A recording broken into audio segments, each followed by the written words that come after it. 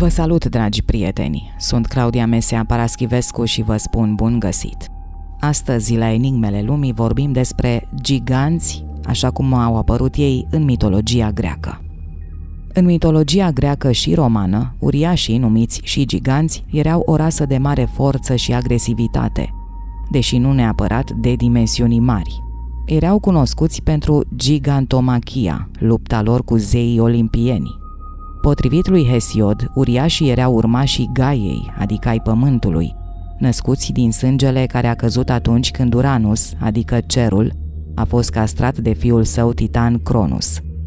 Reprezentările arhaice și clasice îi prezintă pe giganți ca fiind hopliți de talie omenească, adică soldați greci înarmați până în dinți, cu formă umană.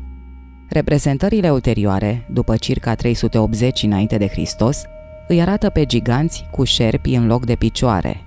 În tradițiile ulterioare, giganții au fost adesea confundați cu alți adversari ai olimpienilor, în special cu titanii, o generație anterioară de copii mari și puternici ai Gaiei și ai lui Uranus.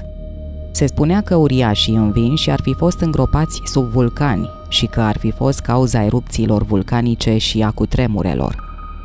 Numele de Gigantes este de obicei considerat ca implicând născut pe pământ, iar teogonia lui Hesiod face acest lucru explicit prin faptul că uriașii sunt urmașii Gaiei, pământul.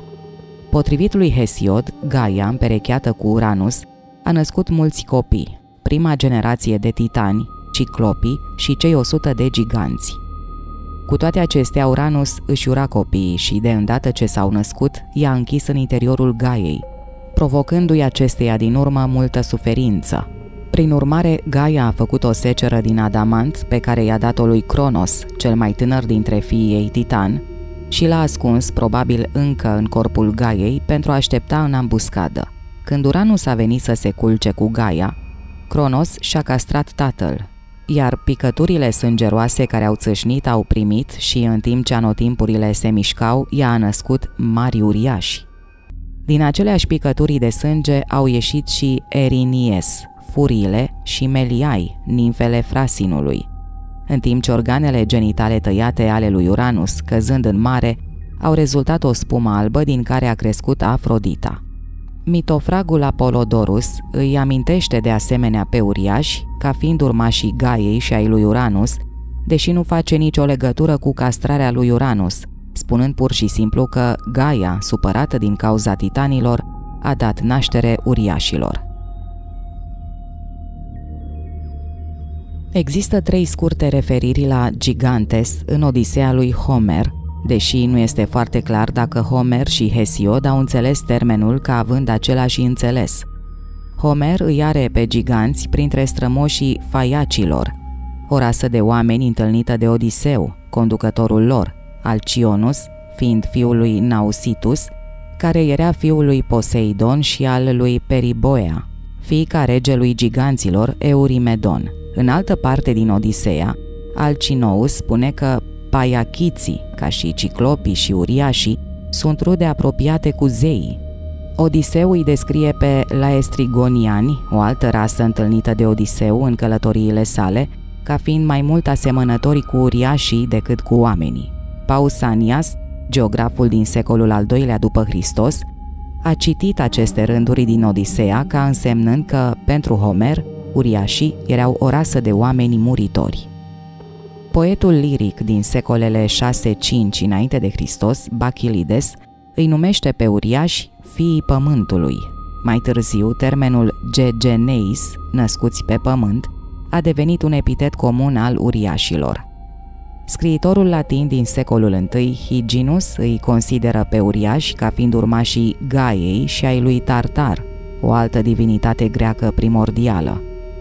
Deși distincți în tradițiile timpurii, scriitorii eleniști și cei de mai târziu au confundat sau au asociat adesea uriașii și gigantomachia lor cu un set anterior de urmași ai Gaei și ai lui Uranus, titanii și războiul lor cu zei Olimpului, titanomachia.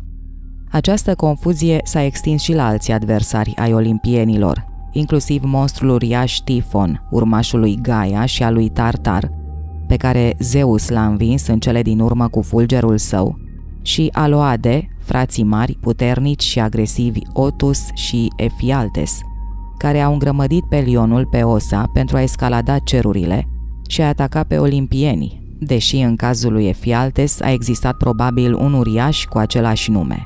De exemplu, Hyginus include numele a trei titani, Coeus, Iapetus și Astraeus, alături de Tifon și Aloadae, în lista sa de uriași.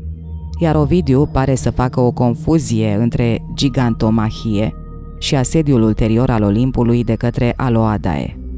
De asemenea, Ovidiu pare să-i confunde pe cei de la Hundred Handers cu uriașii, cărora le dă 100 de brațe, la fel probabil și Calimacus și Filostratus, întrucât amândoi fac din Aegaeon cauza cu tremurelor, așa cum se spune adesea despre uriași.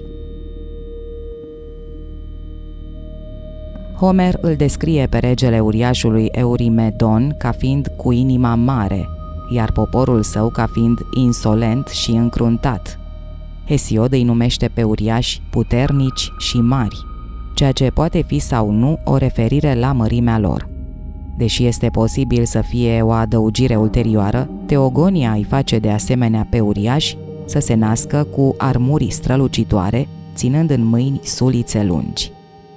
Alte surse timpurii îi caracterizează pe giganți prin excesele lor. Pindar descrie violența excesivă a uriașului Porifirion ca fiind provocată dincolo de orice măsură. Bachilides îi numește pe uriași aroganți, spunând că au fost distruși de hibris, cuvântul grecesc hubris personificat. Probabil că poetul Alcman, din secolul al VII-lea înainte de Hristos, i-a folosit deja pe uriași ca exemplu de aroganță. Frazele răzbunarea zeilor și au suferit pedepse de neuitat pentru răul pe care l-au făcut, fiind posibile referiri la gigantomahie. Comparația făcută de Homer între uriași și laestrigoni este sugestivă pentru asemănările dintre cele două rase. Lestrigonienii sau laestrigonienii, care aruncau stânci uriașe cât un om putea ridica, cu siguranță posedau o mare forță și posibil o mare mărime, deoarece soția regelui lor era descrisă ca fiind mare cât un munte.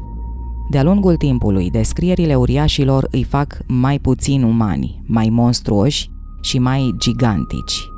Potrivit lui Apolodorus, uriașii aveau dimensiuni și forță mari, un aspect înspăimântător, cu păr și barbă lungă și picioare solzoase – Ovidiu îi face cu picioare de șarpe, cu 100 de brațe, iar Nonus îi prezintă cu părul ca de șarpe. Cea mai importantă luptă divină din mitologia greacă a fost Gigantomachia, lupta dintre uriași și zeii Olimpului pentru supremația cosmosului. În primul rând, pentru această bătălie sunt cunoscuți uriașii, iar importanța ei pentru cultura greacă este atestată de reprezentarea frecventă a gigantomahiei în arta greacă. Referirile la gigantomahi în sursele arhaice sunt puține. Nici Homer, nici Hesiod nu menționează nimic despre lupta dintre uriași și zei. Observația lui Homer că Eurimedon a adus distrugerea asupra poporului său nechipzuit ar putea fi o referire la gigantomahi, iar observația lui Hesiod că Heracles a realizat o mare lucrare printre nemuritori, este probabil o referire la rolul crucial al lui Heracles în victoria zeilor asupra uriașilor. Catalogul Hesiod al femeilor sau Ehoia, care urmează mențiunilor despre sacii săi din Troia și din Cos, se referă la faptul că Heracles a ucis uriași prezumțioși. O altă referire probabilă la gigantomahia din catalog îl are pe Zeus, care îl produce pe Heracles ca fiind un protector împotriva ruinei pentru zei și oameni. Există indicii că ar fi existat un poem epic pierdut, o gigantomahia, care relata războiul. Teogonia lui Hesiod spune că muzele cântă despre uriași, iar poetul Xenofanes din secolul al VI-lea înainte de Hristos menționează gigantomahia ca fiind un subiect care trebuie evitat la masă. Scolia lui Apolonius se referă la o gigantomahie în care titanul Cronos, sub formă de cal, îl naște pe centaurul Chiron, împerechindu-se cu Filiria, fica a doi titani, care este posibil ca scoliastul să confunde titanii și uriașii. Alte posibile surse arhaice includ poeții lirici Alcman, menționat anterior, și Ibicus din secolul al VI-lea. Poetul liric Pindar, de la sfârșitul secolului al VI-lea și începutul secolului al V-lea înainte de Hristos, oferă unele dintre cele mai vechi detalii despre bătălia dintre uriași și olimpieni. El o localizează pe câmpia din Flegra și îl pune pe Teiresias să prezică faptul că Heracle îi va ucide pe uriași sub el. Îl numește pe Heracle tu care i-ai supus pe uriași și îl prezintă pe Porfiron, pe care îl numește regele uriașilor, fiind învins de arcul lui Apollo. În Heracles al lui Euripide, eroul său împușcă uriașii cu săgeți, iar în Ion al său, corul descrie o reprezentare a gigantomahiei de pe templul lui Apollo de la Delphi, la sfârșitul secolului al VI-lea, cu Atena luptându-se cu uriașul Enceladus, cu scutul său de Gorgon, Zeus arzându-l pe uriașul Mimas cu puternicul său fulger care arde la ambele capete, iar Dionisos omorând un uriaș fără nume cu toiagul său de iederă. Autorul de la începutul secolului al III-lea înainte de Hristos, Apolonius din Rodos, descrie pe scurt un incident în care zeul soarelui Helios îl ia pe Hephaistos, epuizat în urma luptei din Flegra, pe carul său. Cea mai detaliată relatare a gigantomahiei este cea a mitografului Apolodorus, secolul 1 sau 2 după Hristos. Niciuna dintre sursele timpurii nu oferă motive pentru acest război. Scoliile la Iliada menționează violul Herei de către uriașul Eurimedon, în timp ce, potrivit scoliilor la Istmianul 6 al lui Pindar, Furtul vitelor lui Helios de către uriașul Alcioneus a fost cel care a declanșat războiul. Apolodorus, care menționează și el furtul vitelor lui Helios, sugerează răzbunarea mamei ca motiv al războiului, spunând că Gaia i-a născut pe uriași din cauza mâniei ei față de titanii, care fuseseră înfrânți și întemnițați de către olimpienii. Se pare că imediat ce s-au născut, uriașii încep să arunce pietre și stejari în flăcări spre cer. A existat o profeție conform căreia giganții nu puteau fi uciși doar de zei, dar puteau fi uciși cu ajutorul unui muritor. Auzind acest lucru, Gaia a căutat o anumită plantă, farmacon, care să îi protejeze pe uriași. Înainte ca Gaia sau oricine altcineva să poată găsi această plantă, Zeus a interzis lui Eos, Selene și Helios, respectiv zori, lună și soare, să strălucească. A cules el însuși toată planta și apoi a pus-o pe Atena să îl cheme pe Heracles. Potrivit lui Apolodorus, Alcioneus și Porfiron erau cei mai puternici doi uriași. Heracles l-a împușcat pe Alcioneus, care a căzut la pământ, dar apoi a înviat căci acesta era nemuritor în țara sa natală. Așa că Heracle, cu sfatul Atenei, l-a târât dincolo de granițele acelui pământ, unde Alcionus a murit apoi. Porfirion i-a atacat pe Heracle și pe Hera, dar Zeus a făcut ca Porfirion să se îndrăgostească de Hera, pe care acesta a încercat apoi să o violeze, dar Zeus l-a lovit pe Porfirion cu fulgerul său, iar Heracle l-a ucis cu o săgeată. Alți uriași și destinele lor sunt menționate de Apolodorus. Efialtes a fost orbit de o săgeată de la Apollo în ochiul stâng, iar o altă săgeată de la Heracles în ochiul drept. Euritus a fost ucis de Dionisos cu tirsul său, Clitius de Hecate cu torțele sale și Mimas de Hephaistos cu rachete de metal încins la roșu din forja sa.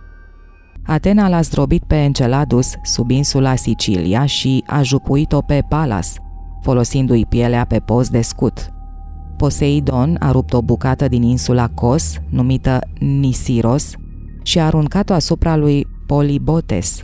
Strabon relatează și el povestea lui Polibotes îngropat sub Nisiros, dar adaugă că unii spun că Polibotes zace în schimb sub Kos – Hermes, purtând coiful lui Hades, l-a ucis pe Hipolitus. Artemis l-a ucis pe Grațion, iar Moirai, adică destinele, i-a ucis pe Agrius și Toas cu bâte de bronz. Restul uriașilor au fost distruși de trăsnetele aruncate de Zeus, fiecare uriaș fiind împușcat cu săgeți de Heracles, așa cum se pare că cerea profeția. Poetul latin Ovidiu face o scurtă descriere a gigantomahiei în poemul său Metamorfoze. Ovidiu, care se pare că a inclus atacul Aloadei asupra Olimpului ca parte a gigantomahiei, îi face pe uriași să încerce să pună mâna pe tronul cerului, îngrămădind munte peste munte până la stelele înalte. Dar Jupiter, adică Zeus roman, îi copleșește pe uriaș cu fulgerele sale, răsturnând din osa uriașul uriașul Pelion. Ovidiu povestește că, după cum faima relatează, din sângele uriașilor a ieșit o nouă rasă de ființe cu formă umană. Gaia nu a vrut ca uriașii să piară fără urmă, așa că, împuținată de sângele copios al uriașilor ei fi, a dat viață la măruntaiele aburinde de pe câmpul de luptă îmbibat de sânge. Acești noi urmași, ca și părinții lor uriașii, îi urau și ei pe zei și posedau o dorință însetată de sânge pentru măcelul sălbatic. Mai târziu, în Metamorfoze, Ovidiu se referă la gigantomahie astfel, vremea când uriașii cu picioare de șarpe se luptau. În ceea ce privește locația, diferite locuri au fost asociate cu uriașii și cu giganții. După cum am menționat, Pindar face ca bătălia să aibă loc la Flegra, în traducere locul de ardere. Flegra se spune că ar fi un nume antic pentru Palene, Casandra de astăzi. Potrivit geografului Pausanias, arcadienii susțineau că bătălia a avut loc nu la Palene, în Tracia, ci în câmpia Megalopolis, unde se ridică focul. O altă tradiție ar fi plasat bătălia la Tartesus, în Spania. Diodorus Siculus prezintă un război cu mai multe bătălii, cu una la Palene, una pe câmpurile Felegre și una în Creta. Strabon menționează o relatare despre lupta lui Heracle cu uriașii la Fanagoria, o colonie grecească de pe malul Mării Negre. Chiar și atunci când, ca la Apolodorus, bătălia începe într-un singur loc. Bătăliile individuale dintre un uriaș și un zeu ar putea fi mai îndepărtate, Enceladus fiind îngropat sub Sicilia, iar Polibotes sub insula Niros sau Kos. Alte localități asociate cu uriașii includ Attica, Corint, Sizicus, Lipara, Licia, Lidia, Milet și Rodos. Prezența fenomenelor vulcanice și descoperirea frecventă a oaselor fosilizate ale marilor animale preistorice în aceste locuri pot explica de ce aceste situri au fost asociate cu uriașii. Dragi prieteni, atât pentru astăzi. Într-un episod următor vom vorbi despre gigantomahie în arta greacă. Vă mulțumesc ca de obicei pentru atenție și vă aștept cu drag și data viitoare. Pe curând!